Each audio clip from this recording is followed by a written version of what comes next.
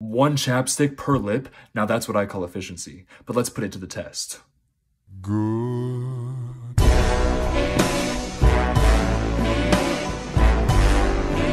Ah.